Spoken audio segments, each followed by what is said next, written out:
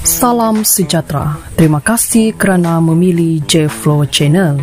Channel ini akan menyampaikan berita terkini, gosip panas mengenai artis dalam dan luar negara.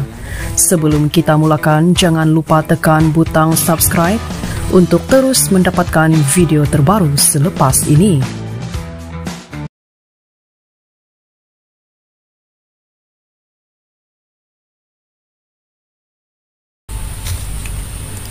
Pelakon dan pengacara awal Ashari meluahkan rasa ralat apabila bagasi yang berisi barangan pribadi berharga miliknya dan isteri Shah Al Yahya ketika melancong ke Milan, Itali telah hilang. Menurut awal, barang di dalam bagasi tersebut menyimpan pelbagai makna sentimental buatnya dan isteri seperti cincin perkahwinan. Ketika melancong, kami pernah kehilangan banyak barangan pribadi. Masa itu memang gigit jari, benda itu terlalu pahit dan sakit untuk kami. Kerugian terlalu banyak sebab kami kehilangan barangan sentimental seperti cincin kawin, jam, sempena ulang tahun hari jadi dan sebagainya. Saya dan Syah suka hadiahkan barangan seperti jam, cincin, gelang dan sebagainya bila sambutan ulang tahun perkahwinan.